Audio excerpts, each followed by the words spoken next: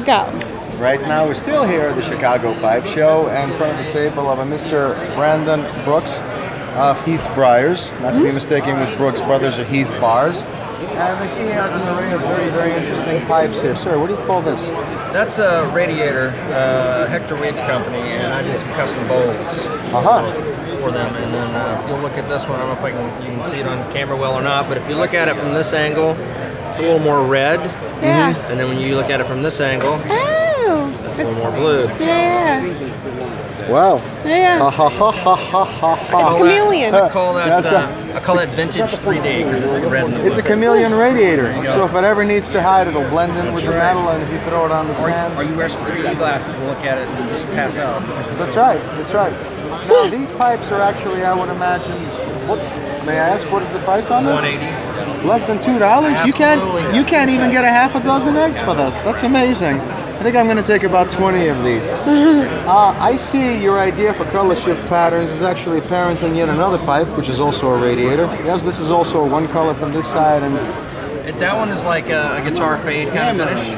Oh, very cool. And then uh, basically I have two different lines of pipes. This is B squared, and this is the Brandon Heath Briars. This is rock and roll, and this is classical music. Well, that's a hell of a way of looking at it. We're also heavily into a app. I was telling you about this War Dragons, and when I saw your pipes, I thought to myself, "Good Lord, what an association!" Um, I pick up the Dragon Claw pipes with the eggs.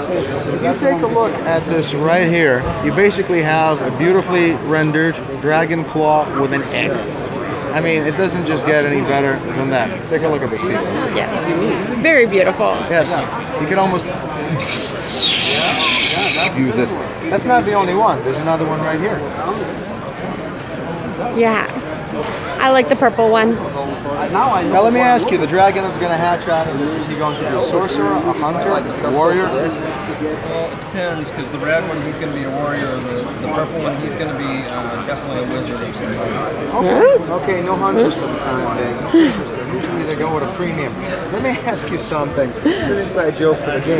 Your pipes are beautiful. I mean, I'm seeing something like this. This looks like a Neo Danish classic. Like a, ne- yeah.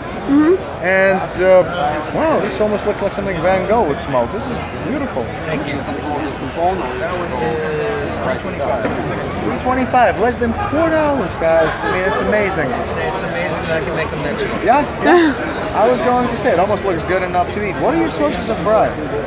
Uh, most of what I use, I get from uh, Vermont Freehand, and a lot of it's uh, Nemo.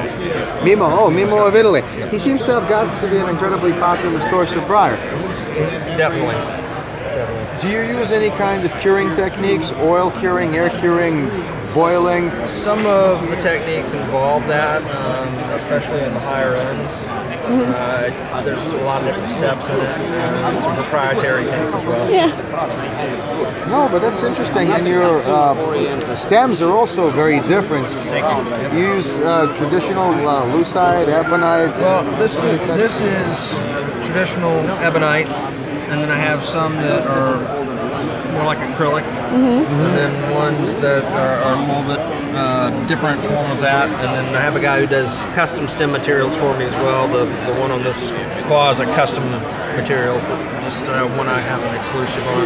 Yeah. Very cool. Thank you. Yes. Very, very nice. In fact, that probably once, maybe at the beginning of the video, would be really great.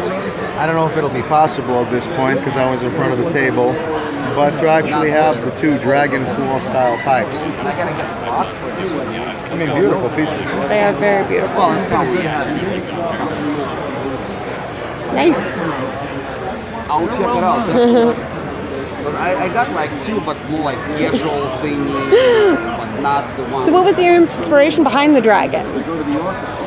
One of my customers um, saw an older pipe I did years ago that was an eagle claw, and it was it was okay. And he said, "Would you be interested in doing an eagle claw again?" And I said, kind of like "Yeah, I think I think I can pull off a better job of it." And he is involved with uh, Scottish uh, things, and I'm, I have a Scottish background Yeah. as well. So he said he wanted a, a Celtic band around the top, like a knot work band. I said, well, if we're gonna do that, I wanted a dragon claw. It's like absolutely.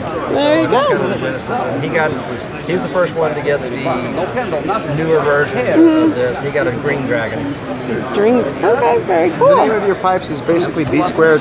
B squared pipes and then Brandon Heath Briars, the two different Okay. lines. Oh, okay. So these are actually, yep, That's why it's one maker, two different lines. B squared and Brandon Heath. One he said was classical music. Uh, the B Brandon Heath Briars is classical, and the B squared is rock and roll. Rock and roll. Yeah. So there you go. Classical, And they have a display. rock and roll. Okay. Thank you very much, sir. Thank you. I appreciate it. Thank you.